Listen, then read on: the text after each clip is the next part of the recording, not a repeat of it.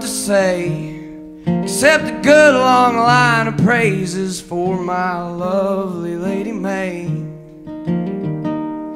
Now I ain't the toughest hickory that your axe has ever felled But I'm a hickory just as well.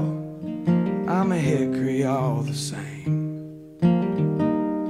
I came crashing through the forest as you cut my roots away, I fell a good long ways for my lovely Lady May.